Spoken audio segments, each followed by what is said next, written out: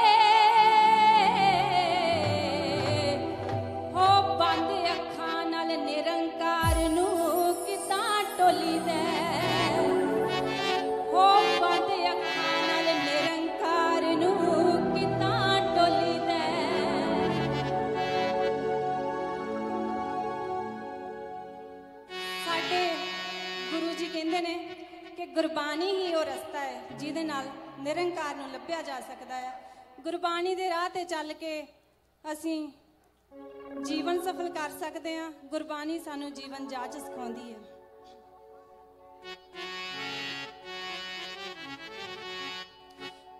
ਏ ਗੁਰਬਾਣੀ ਜੇ ਕੋਈ ਪ੍ਰਾਣੀ, ਏ ਗੁਰਬਾਣੀ ਜੇ ਕੋਈ ਪ੍ਰਾਣੀ, ਹਿਰਦੇ ਵਿੱਚ ਵਸਾ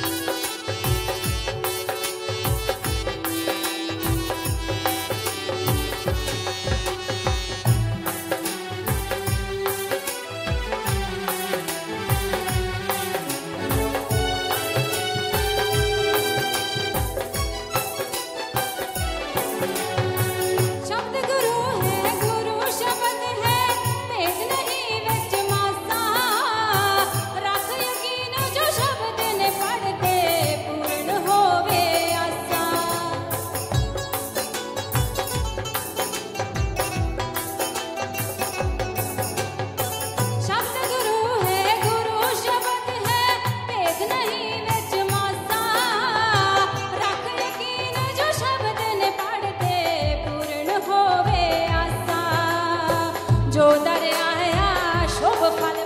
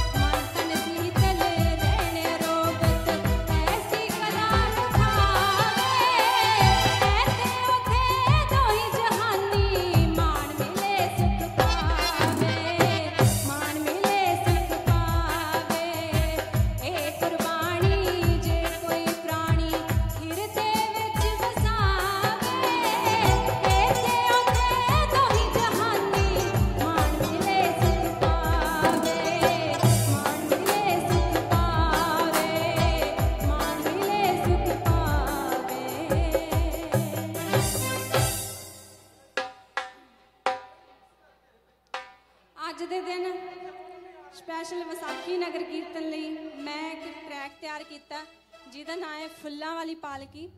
ਨਗਰ ਕੀਰਤਨ ਦੇ ਲਈ ਮੈਂ ਉਹ ਤਿਆਰ ਕੀਤਾ ਹੈ। ਸੋ ਤੁਹਾਡੇ ਨਾਲ ਮੈਂ ਸਾਂਝਾ ਕਰੂੰਗੀ। ਵਿਸਾਖੀ ਵਾਲੇ ਦਿਨ ਉਹ ਰਿਲੀਜ਼ ਕੀਤਾ ਸੀ ਤੇ ਤੁਸੀਂ ਸਾਰਿਆਂ ਨੇ ਪਸੰਦ ਬਹੁਤ ਕੀਤਾ। So thank you so much ਤੁਹਾਡਾ ਸਾਰਿਆਂ ਦਾ। ਜਿਨ੍ਹਾਂ ਨੇ ਨਹੀਂ ਦੇਖਿਆ, ਉਹ YouTube ਤੇ ਦੇਖ ਸਕਦੇ ਨੇ ਫੁੱਲਾਂ ਵਾਲੀ ਪਾਲਕੀ।